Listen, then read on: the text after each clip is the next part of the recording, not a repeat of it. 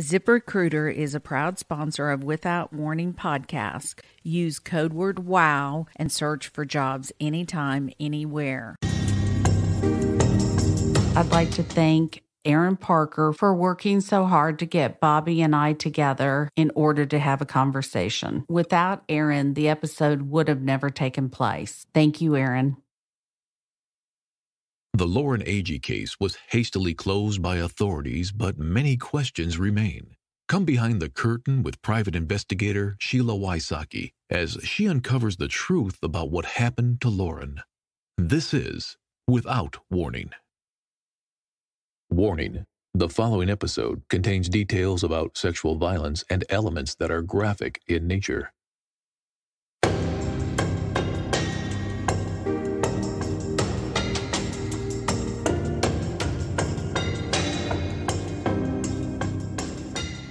On the last episode, we heard from former FBI agent Bobby Chacon. I want to take a moment and thank Bobby for watching the depositions, going over the case, and giving his opinion. Bobby answered many of your questions from the law enforcement perspective. There are still many questions to answer. On this episode, I'm going to have Selena introduce herself and have her ask me questions that you all have posted on social media, our Instagram, Twitter, and Facebook accounts.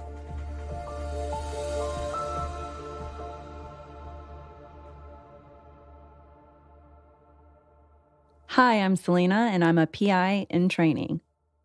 Jordan Stewart asks As someone who has a degree in this field, has a career in this area, when you sit in a classroom, start your training, and begin your on the job training, the first subject you go over is your communications with coworkers, witnesses, victims. Is that a conversation or interrogation does not exist if you do not write it down or record the conversation? How does Jeremy Taylor justify not doing this? Jeremy Taylor not writing the information down is actually not protocol in any police department. I've checked with several across the country, and not one of them said that it was okay not to document or record conversations with witnesses or record what you're doing. So the fact that Jeremy Taylor did not write anything down is against protocol in Tennessee and all over the country. Actually, I think the fact that we're having this conversation about Jeremy Taylor not writing down or documenting anything is ridiculous because every person out there listening has watched a law and order or some crime show and they know to document and record. The fact that Jeremy Taylor did not know is beyond anyone listening. And here's another one in connection with that by Katie Bona. Is there any written report taken by the officers who were actually present at the crime scene while Lauren's body was still there? Or is the only documentation that of Jeremy Taylor's, starting after the body was already removed? We do have the first responder pictures, but we have no documentation whatsoever in writing other than when the kids went to the campers, went to the police department and wrote the less than a paragraph about what happened that weekend. Kelly Hammock Murphy asks Will there be a deposition on the other detective? Unfortunately, the lawsuit was dropped because Sherry felt like she was being singled out and intimidated.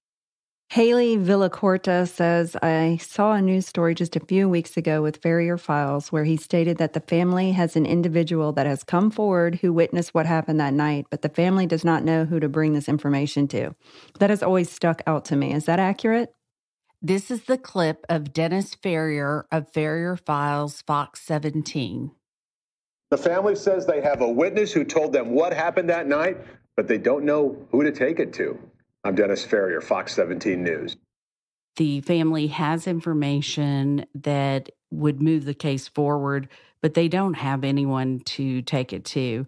So you can't take it to DeKalb or the DA. So you're kind of stuck out in where do you go land? And hopefully the FBI will step in. Jennifer asks a couple of questions in this. We'll start with Did you ask Hannah why Aaron told her to stick to the story? I did not ask Hannah why Aaron told her to stick to the story. I think that statement speaks for itself. I don't feel like I need to have Hannah tell me what it means. It means exactly what he said. They had a story and just stick with it. Did you give the police this information that Aaron was telling her to stick to the story? I made an appointment with the district attorney in DeKalb County, went to his office sat down with him, told the DA what I knew, and asked him if I could speak to his investigator. His answer was no. He informed me that he was not going to let me speak to his investigator. At that point, I knew it was a worthless meeting. Sheriff Patrick Ray does have everything that we have because of the lawsuit. It's public record. The judge has it, the DA has it, and the sheriff has it. Angie Renee Gant asks When is the sheriff up for reelection, or was he elected in this past election? It is so unfortunate that Sheriff Patrick Ray was reelected in August. Hopefully, we'll be able to get people to start listening to the podcast because it's important for them to know who they vote for. Karen Larson asks Lauren and Hannah went to the event in Lauren's car. Lauren planned on staying only Friday night and coming home Saturday to attend her current boyfriend's party. Did Hannah plan on only staying one night? Hannah had planned to meet with Aaron and go home with Aaron. So she already had other plans to stay the weekend. Why didn't Lauren drive home when she told people that she wanted to leave? In an earlier episode, Aaron Lilly told Jeremy Taylor that he took the keys away from Lauren. Lauren could not leave Wakefest in her car to go back to Hendersonville because she did not have her keys. Lauren Mueller asks, This is a huge question for me. She was hanging out with Evan at the bar Saturday night. She wasn't being held against her will or anything at that point, but she certainly should have left for Chase's house by then. At what point did she change her mind about leaving Wakefest? Why? And why didn't she tell Chase? Okay. So I cannot answer all the questions about Lauren and what she did and did not do. And I want to be very careful not to blame Lauren I believe that her keys were taken from her. She did ask some people to stay with them that night, and she probably felt like nothing was going to happen. At that age, you don't believe that you're going to get into a bad situation. Lauren definitely made some mistakes, but she's also a kid. Most kids make mistakes, and the mistakes don't generally add up to you're found at the bottom of the cliff dead. Lisa Ledbetter Travis asks This may be dumb, but what is the role of a sheriff's department versus regular law enforcement, like a police department? A sheriff's department is elected, a police department is not. And the roles are the same. You conduct an investigation exactly the same. Investigations don't change based on departments, it's just a matter of who's in charge, how they conduct their business, and the good ones they get training. And secondly, is the training provided by a sheriff's department at the discretion of the sheriff, or does the state oversee that type of training? Tennessee has guidelines, and it's up to the sheriff's department how much money they're going to spend on training. And third, did a different medical examiner find the cause of death to be different from the original ME?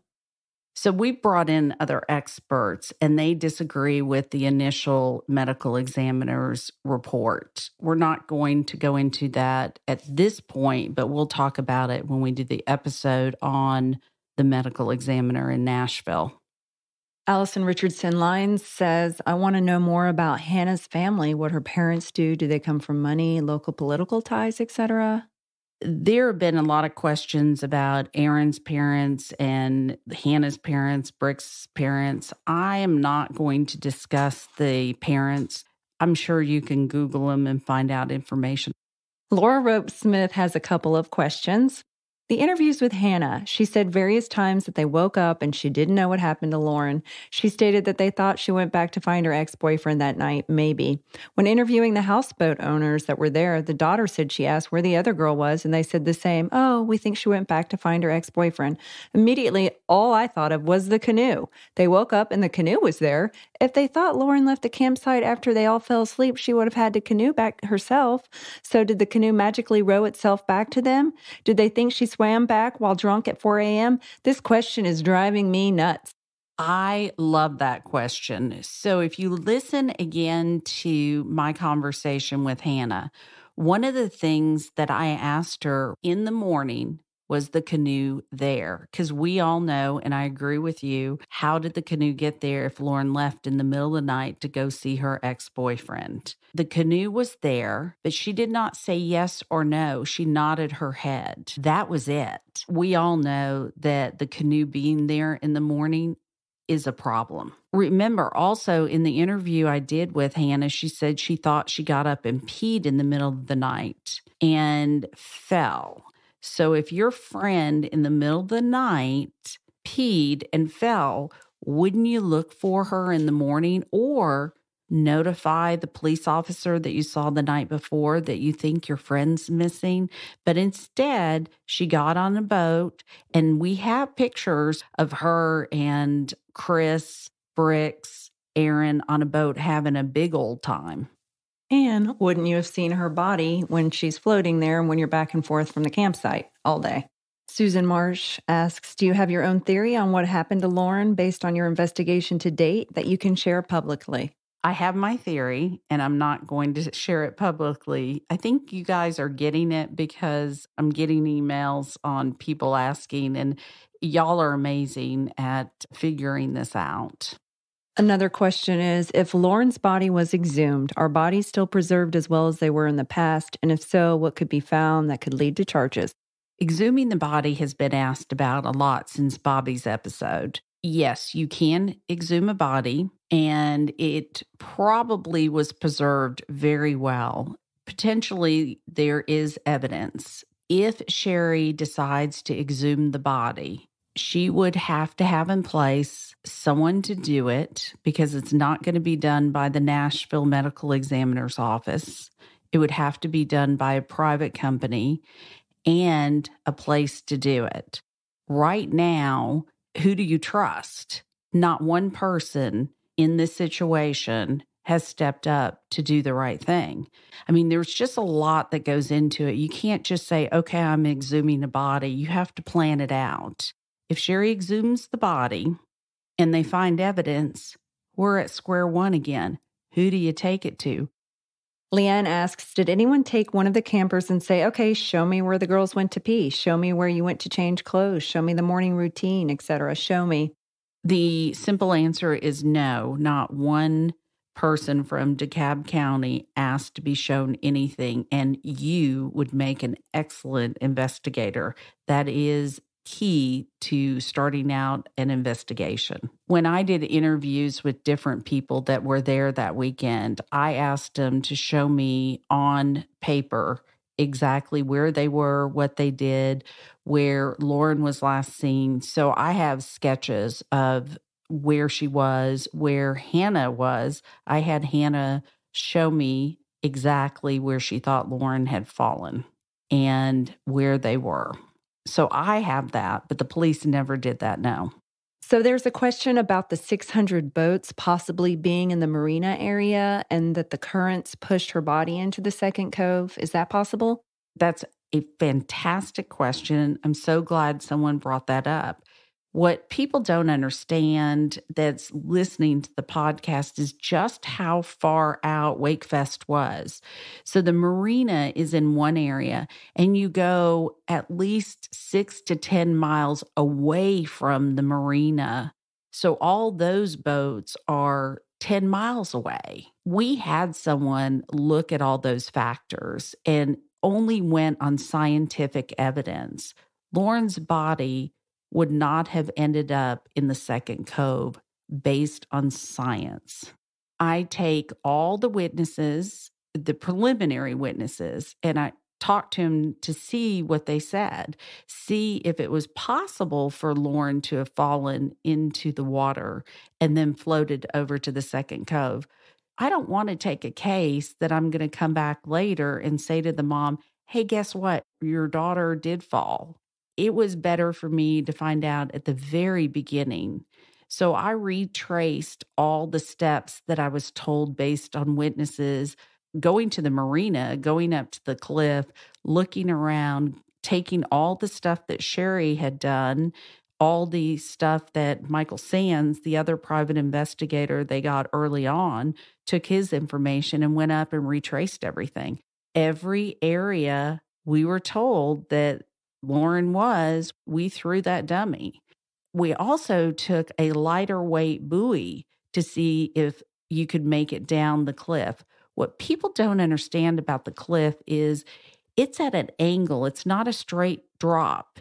It's kind of like a, like Bobby said, you know, you have a little landing with a beach area. There's a very short area, and the rocks are all so jagged. You can't go up there without, you know, nicking yourself or scratching yourself. I put water jugs. This is initially when I took the case to see the currents. You could test the currents. Had they tested the currents that day, we wouldn't be having this conversation. So, since I wasn't there that day, I went and spoke to different fishermen and people that lived in DeKalb around the marina who are actual witnesses to what happened in the water that day based on the currents, not Lauren, but the currents. From the autopsy photos from Patreon, you see that she has a busted nose and lip. Is there speculation that perhaps she was punched and then fell and got the injuries that she sustained? So, the question about the autopsy photos, I want to be clear on what's being shown first. The autopsy photos that we're sharing on Patreon are photos that are not inappropriate or disrespectful to Lauren, but they do show true evidence. So, things are blurred out, cropped, but you're getting the idea of what happened. And in the autopsy report that has also been given to the Patreon people, they noticed that there's no record of her nose being broken. And if you look at it, and we do a video showing the difference, you can see there was trauma to her nose and a split lip. I don't think it takes somebody who has a medical degree to look at something like that and know whether or not someone has been harmed in their nose and lip. You can physically see it. So that's another area that we'll discuss when we do the autopsy medical examiner episode. Is a punch in the nose something you would commonly use if you were going to rape someone? A punch in the nose is a great way to stun someone, shut them up, and dominate them. Generally, women will slap one another, they don't go for the nose punch.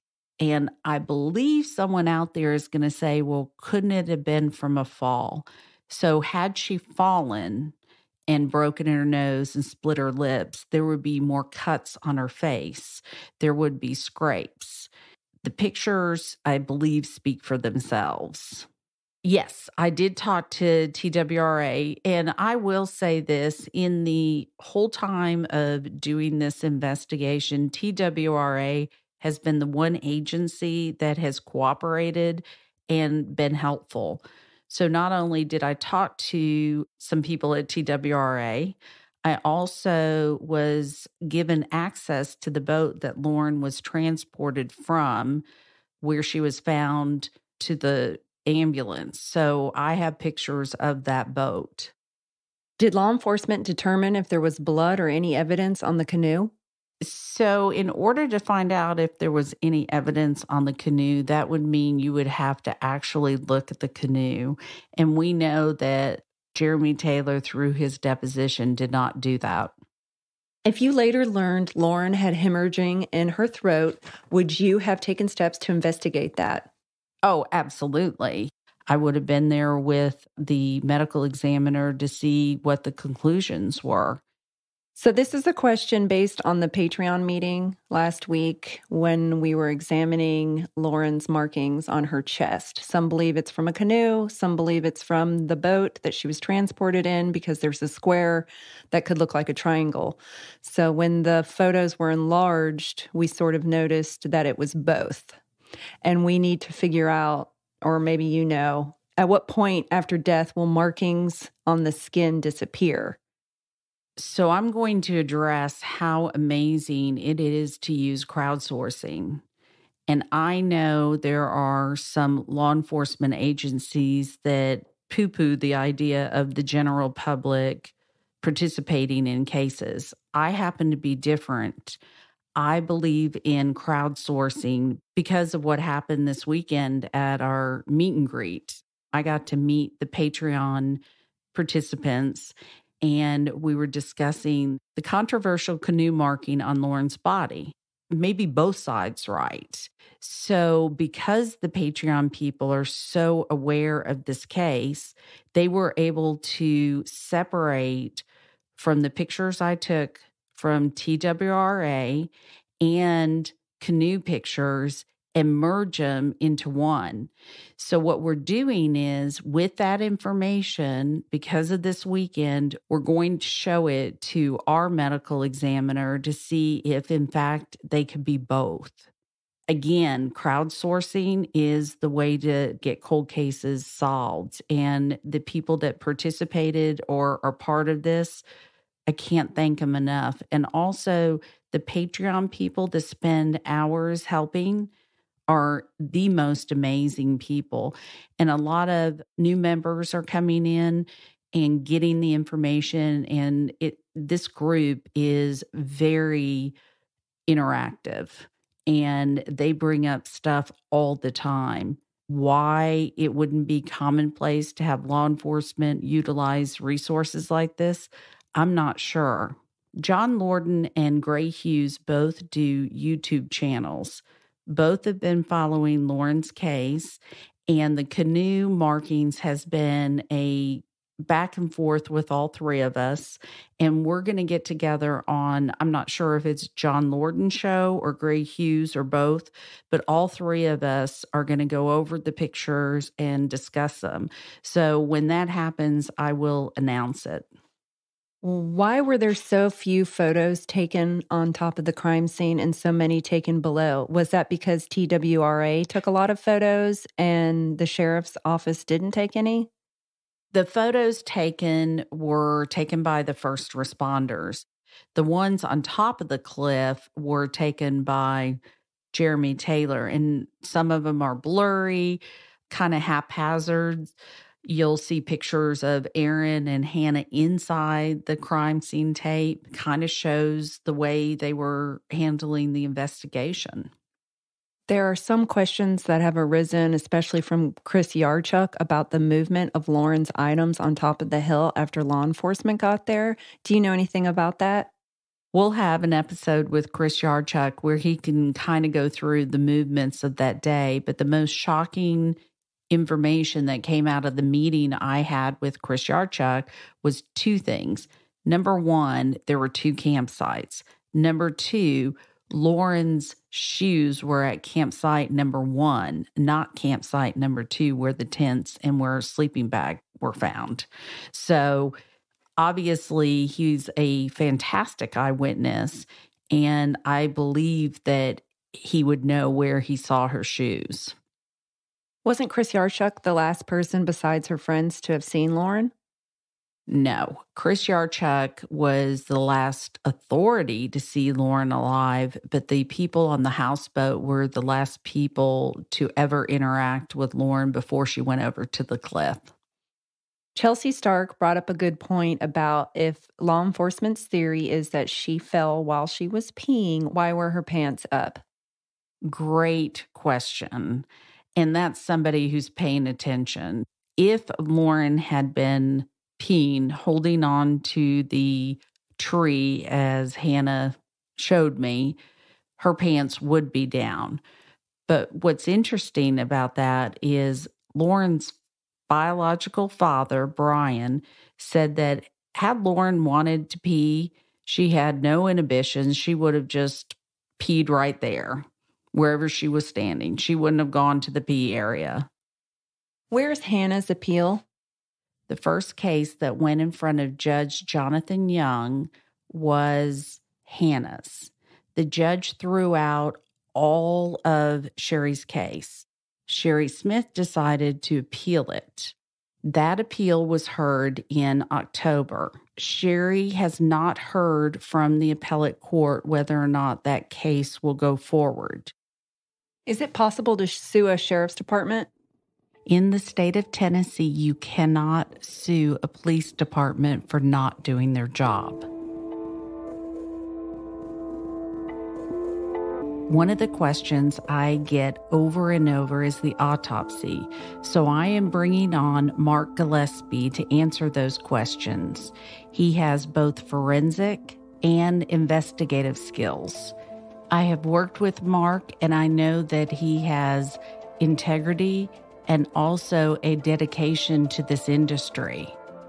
Crowdsourcing is such a valuable tool and I believe in investigative work. It is so needed. So I appreciate the people from Patreon coming out last weekend, sitting down and brainstorming. It was, first of all, so nice to meet so many of you. And secondly, it was amazing what came out of that meeting. I look forward to utilizing the crowdsourcing venue again.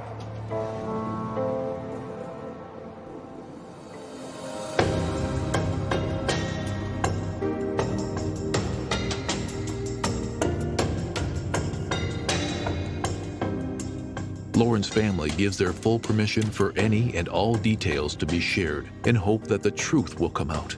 If you know anything at all, call 1 888 599 0008 or email tips at SheilaWysocki.com.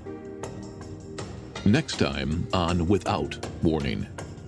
My name is Mark Gillespie, private investigator. I'm the owner and manager of Gillespie Security and Investigations in the Austin, Texas area. My background is I spent a career in the Air Force. I was a special agent for the Air Force Office of Special Investigations, commanded investigative units in the U.S. and overseas. I retired in 1996, upon which time I became the forensic science director for the Austin Police Department. I did that for about eight years and left APD to start a forensic science degree program at St. Edward's University in Austin, where I taught forensic science and criminal investigations for about eight years.